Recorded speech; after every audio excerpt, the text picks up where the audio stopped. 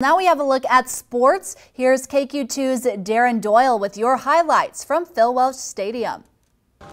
To Phil Welch we go for a wet one with the Wardogs and the Alumni Mustangs. Josh McNeil up for the Wardogs looking to do some damage. Right fielder Ryan Hook for the Mustangs makes the slip and slide grab and only lets the Dogs get one out of the play. Bottom of the first with the Mustangs up, Hook hits it to left. The fielder loses it. Then the defense misreads the play, and Hook gets another base out of the mishap.